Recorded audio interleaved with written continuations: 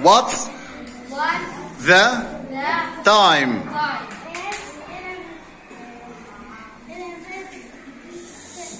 it's Yazid. it's 11 11 thank you Mr. Yazid and thank you Mr. Abdul Rahim.